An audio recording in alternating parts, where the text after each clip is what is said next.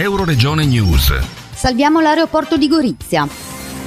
L'aeroporto Duca d'Aosta di Gorizia torna al centro dell'attenzione per la decisione dell'ENAC di chiuderlo in via preventiva allo scopo di bonificarlo da eventuali presenze di ordigni bellici risalenti al secondo conflitto mondiale. Tra le voci indignate che si levano quella del capogruppo della lista civica per Gorizia Fabrizio Reti, anche alla luce del fatto che in un cantiere a Malpensa sono stati trovati ben 52 ordigni di 250 kg ciascuno, ma nessuno si è sognato di interrompere le attività dello scalo. Sulla vicenda è intervenuta anche l'assessore regionale alle infrastrutture Maria Grazia Santoro auspicando la riapertura del dell'aeroporto. Il paragone con Malpensa è forse però azzardato ai nostri microfoni Fabrizio Reti.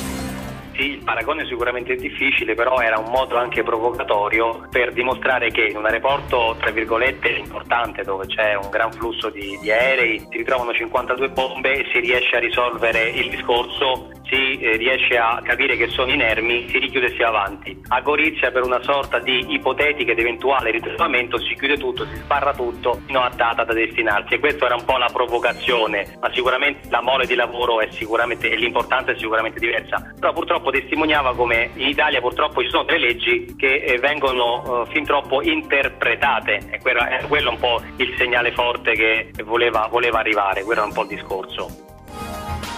Avete ascoltato Euroregione News.